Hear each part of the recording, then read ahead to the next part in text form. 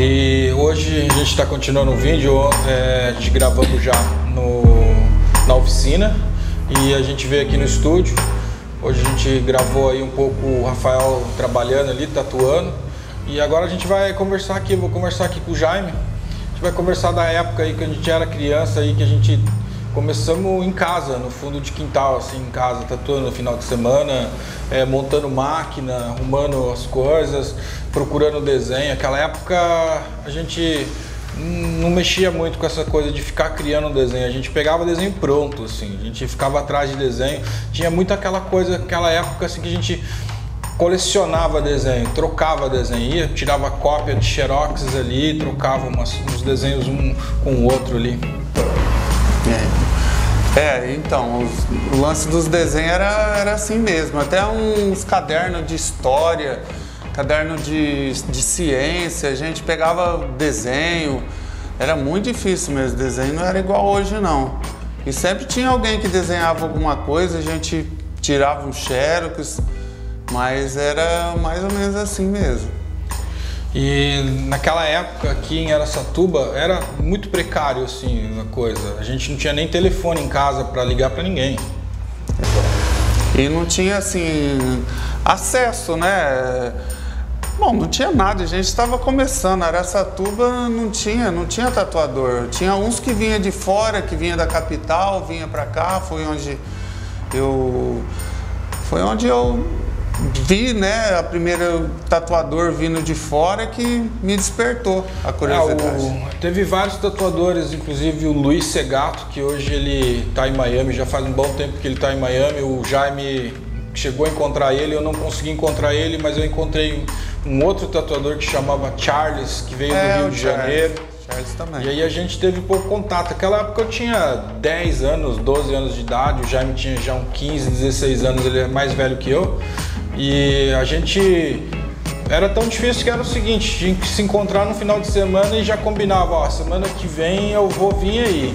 Então a coisa era, era dessa forma, não tinha telefone, não tinha.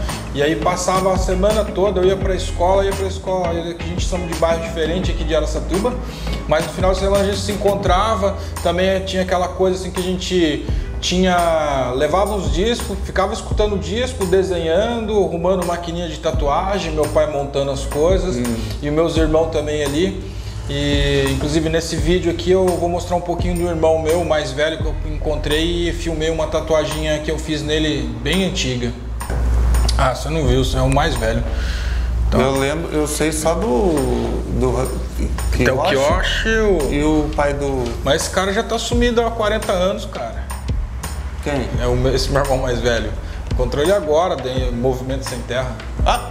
É. O cara vive numas terras invadidas aí, fui lá hoje. Você é louco! Aí tem, só para complementar também, que eu não cheguei a ver ele pessoalmente, o alemão. Ah, é, o alemão, o alemão tá ele, ele veio ele aqui. Ele é de Santo André. Santo André, ele mesmo. Ele veio aqui, eu fiquei sabendo, até tinha um lance do cara não tirar decalque, fazer sem decalque, ficava aquela. Porque a gente, coisa... eu e o Jaime, a gente era adolescente, então a gente não tinha muito acesso. A gente, quando a gente, às vezes, esse tatuador vinha para a cidade, às vezes eu conseguia encontrar um, às vezes ele conseguia encontrar o outro cara, ou às vezes a gente nem conseguia encontrar porque era aquele negócio, como a gente está falando. A gente só ouvia de alguém, não tinha telefone, não tinha celular, não tinha internet. E aí alguém falava, pô, tem um tatuador ali na avenida tal. Quando a gente conseguia lá, esse cara já tinha ido embora, então a é. gente acabamos não, não vendo. Mas é, logo depois dos anos 90 eu saí do Brasil e depois eu voltei no final dos anos 90. Jaime ficou aqui no Brasil, continua aí com banda. Ele sempre foi da música, a gente sempre teve banda, a gente sempre foi do, do metal, né? Aqui a cidade de Aracatuba mudou muito, mas nos anos 80, nos anos 90 aqui era o território do rock, né? Era muito bom mesmo. E até o. Ainda que você ainda saiu. Eu lembro que você saiu para algumas cidades aqui, dava um rolê aí para fazer umas tatuagens, mas eu ficava mais aqui, então era muito mais difícil, né? Ainda só aqui, só aqui, era só em revista. Mudou muito mesmo quando começou as revistas de tatuagem. Né? Vai dar uma pausa. tá aí ainda aqui, né? Você ia nas É, cidades então, aí. eu Ainda você Eu foi com lá no 13, Mr. Hood É, ainda. com eu 13, não- 14 anos de idade, eu pegava minha mochila, fazia meus artesanatos de durepox, de colarzinho de semente, aí pegava minha maquininha de tatuagem com a minha tinta, colocava na mochila, pegava um ônibus e viajava. Aí eu ia para a região, para o estado de São Paulo, interior do estado de São Paulo, quase todo, um pouco do norte do Paraná e o sul do Mato Grosso do Sul. Eu ia onde que eu conseguia ir de ônibus, de carona, pegava minha mochila e ia. Eu era jamais viajava. O Jaime ficava aqui Ah, porque era mais ele em casa. Ficava mais. Ele tinha outras atividades também. Depois começou a trabalhar também de eletricista. A, a gente nunca teve realmente só uma profissão de tatuador. Isso aí já virou mais depois. Que nem eu, como não trabalhava de empregado, eu fazia meus artesanatos, colocava aqui na praça, aqui vendia, juntava uma grana e viajava. E a tatuagem era uma coisa Era que fazia, hobby. é, fazia muito de vez em quando. Era hobby, a gente tinha que trabalhar, não tinha jeito. Ninguém vivia de tatuagem nesse tempo. Só o pessoal capital, cidade grande, assim, o pessoal vivia de tatuagem. A gente não, a gente tinha que trabalhar. Isso daí era um extra, né? Um hobby mesmo. Então, e aí era o seguinte também, como a gente era moleque, aí o pessoal aqui eu chamava de japonês ou isso aquilo, e aí o pessoal não conseguia falar o meu nome, que era Shimada, e me chamava de China. Aí o Jaime era de Lobão porque ele tinha, naquela época, ele curtia também o Lobão, tinha o É, cabelo tinha. dele. A gente, a gente sempre teve cabelo comprido, agora ele não tem. Mas ele tinha o cabelo dele cortado igual do Lobão e ficou de Lobão Tatu e é conhecido de Lobão até hoje. E aí depois que eu viajei e fui embora, o pessoal me deixou de chamar de China e me chama de Shimada. Porque antigamente era mais fácil o pessoal assimilar, o- assim, falar, falava Shimada, falava como? Shima? China? E ficava, ficou de China. É, é um tempinho bom, né? Esse tempo aí. Tanto que é, esse negócio de nome, assim, foi mais ou menos isso, porque a gente punha no cartãozinho, né? Era lobo, aí lance de lobão e, e ficou. E, e foi uns apelidos assim que não foi um apelido que a gente inventou pra gente. O pessoal começou a chamar, né? E foi indo e ficou. Então, e aí agora eu comecei a voltar aqui para o interior. É, no final dos anos 90, é, eu tive aqui no Brasil, comecei a vir bastante no Brasil. Tinha gente que confundia que eu morava no Brasil, mas eu fiquei muito tempo fora. Eu, desde os anos 90, do início dos anos 90 até os anos 2000, agora, em 2014, que eu vim definitivo para o Brasil. E eu fiquei um bom tempo sem vir aqui em, em Araçatuba, fiquei em São Paulo. E estou vindo agora, depois dessa, dessa época aqui agora que estou conseguindo mais tempo. E eu estou vindo aqui visitar mais aqui o Jaime. A gente é, o filho dele tatua agora e outra. Eu sou, meu pai começou aqui também. Então nessa cidade aqui tem de geração de tatuador já. A gente são bem antigo. Hoje a tatuagem está bem popular aqui na cidade. Tem bons tatuadores, tem muito tatuador aqui. E ele ficou aqui. Eu venho de vez em quando. É, daí é o seguinte, no final dos anos 90 eu apareci do nada aqui. Aí o Jaime tinha voltado a tatuar, e inclusive aqui mesmo, ele nunca saiu desse lugar. Aqui era a casa da avó dele, ele tatuava aqui. Aí eu fiquei tatuando aqui, aí depois ele voltou e continuou, continuou direto. Aí às vezes eu vinha pro Brasil, vinha na convenção de tatuagem do LEDs, ele ia lá, Nossa, e a gente bom, sempre hein? ficou em contato. E aí nos últimos tempos assim de internet ficou mais fácil às vezes. Às vezes eu ligava de fora de outro país, ligava aqui e falava, ó, tô indo em tal mês. Mas a gente sempre ficou em contato. O o negócio do Jaime era mais mesmo montar máquina de tatuagem.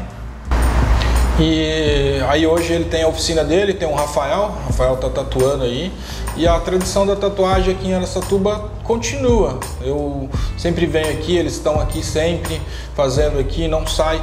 Tatuagem no interior de São Paulo tem vários níveis. Como São Paulo também tem vários níveis. Então não dá para o cara pegar escolher falar que só vai fazer um estilo de tatuagem ou que só vai fazer é, a agenda dele. Aqui você tem que trabalhar de verdade mesmo, tem que ser tatuador. É, tem que ser bem. Você tem que fazer vários estilos que tá no seu alcance, né? Aqui a gente trabalha assim. Tenho vários estilos aqui, a gente faz vários estilos, mas quando chega em alguma coisa que a gente é, não, não tem o conhecimento, não sabe fazer perfeitamente, a gente não faz. Né? Tem algumas coisas que. Porque as pessoas pensam que tatuador, ah, o cara é tatuador, ele faz de tudo. Não, hoje não. Hoje não é assim mais. Né? Então hoje cada um tem um estilo de fazer. Tanto que hoje os estúdios têm que.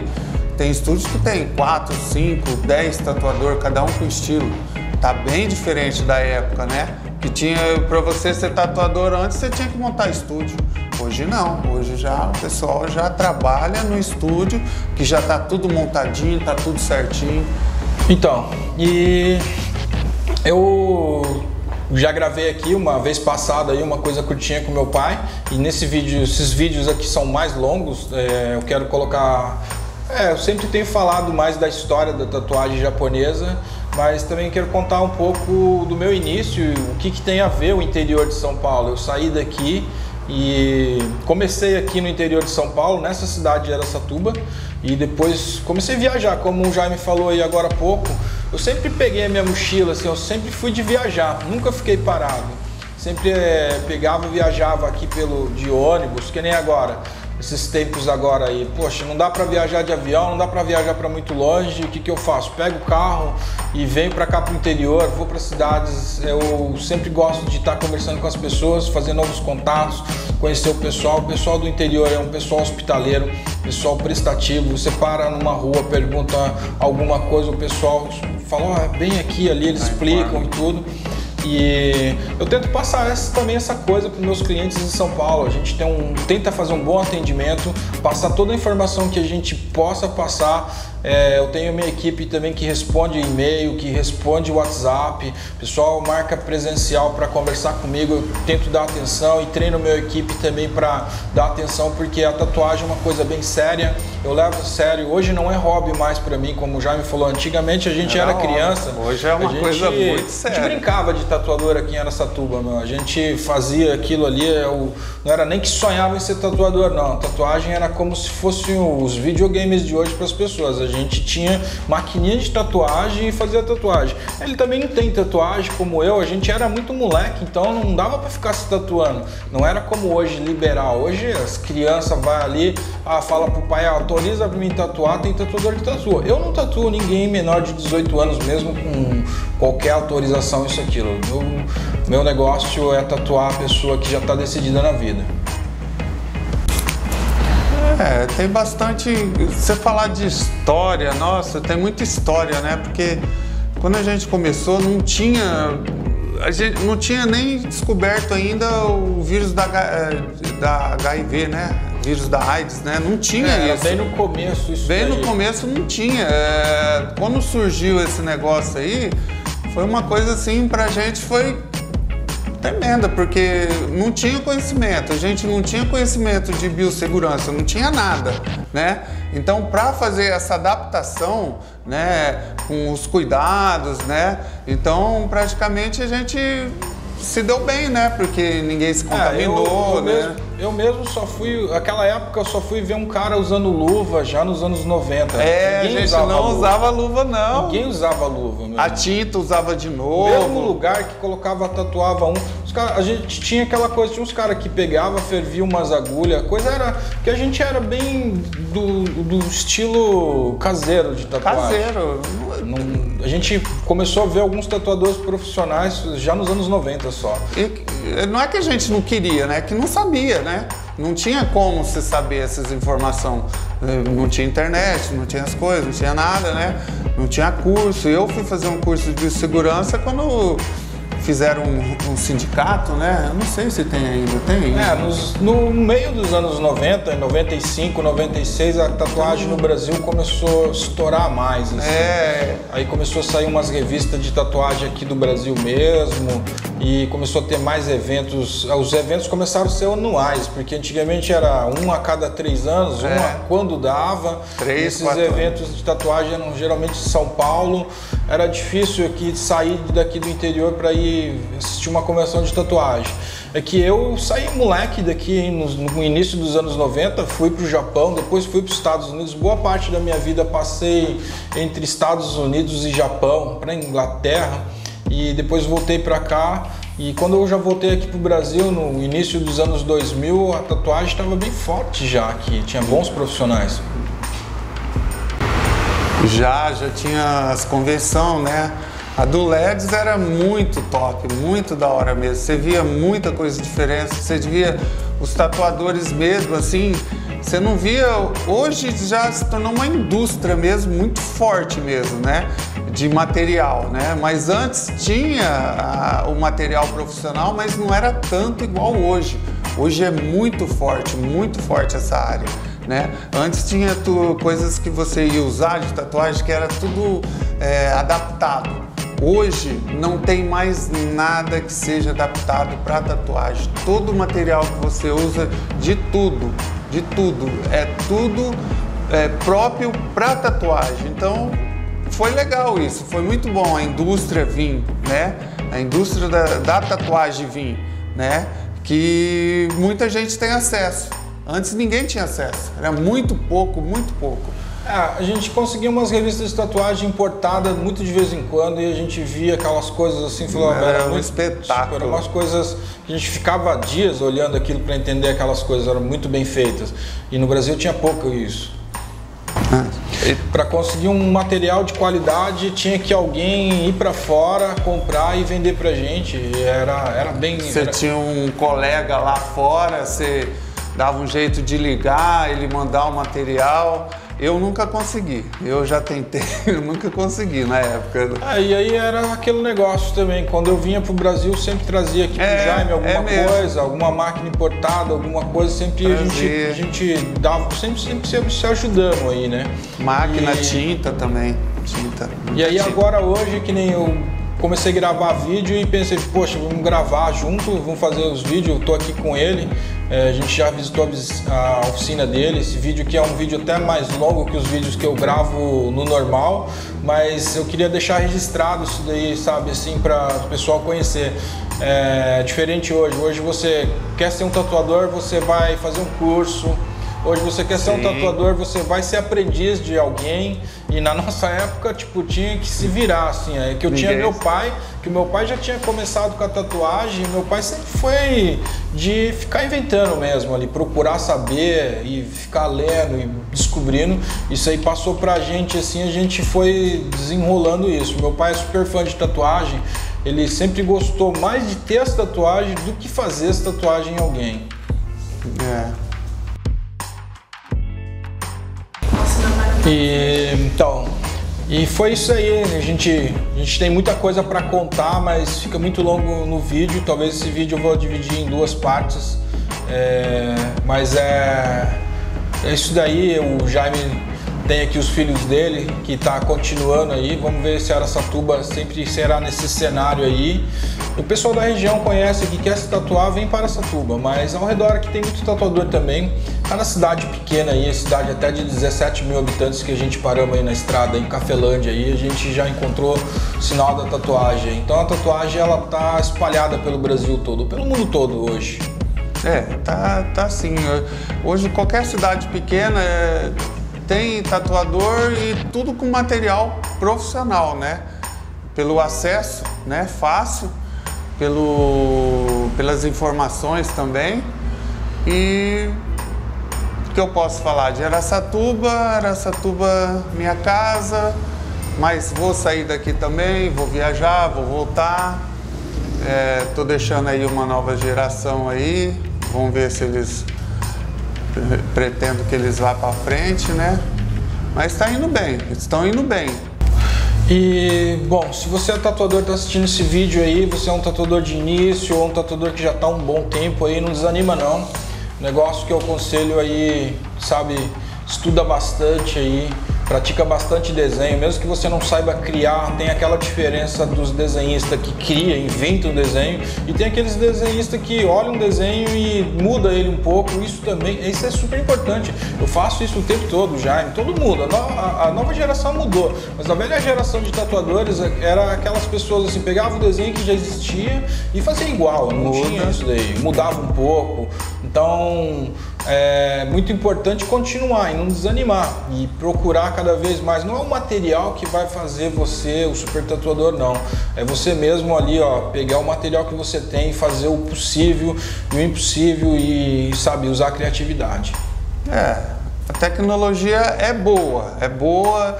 Tudo que você tem em mãos para usar hoje em dia, eu acho válido, né?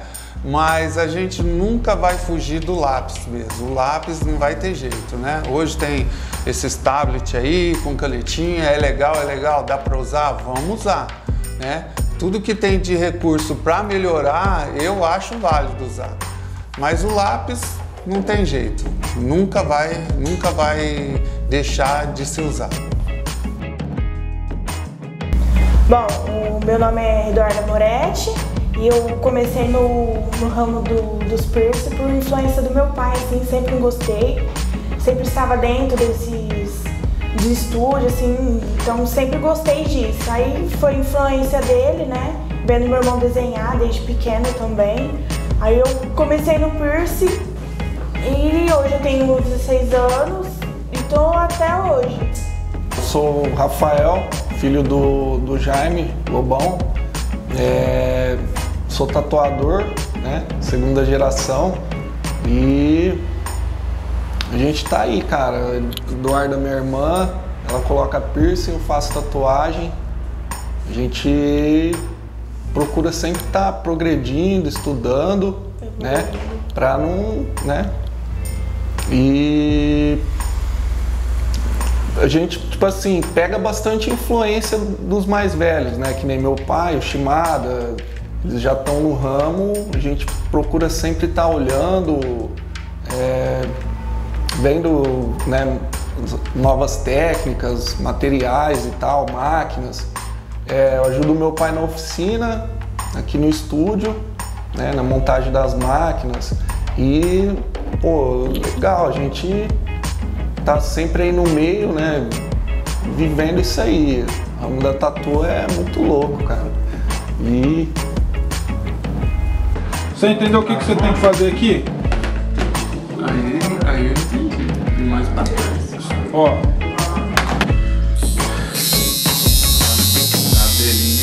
Ó. Roda que roda, filho. Chega na oitava camada de pele.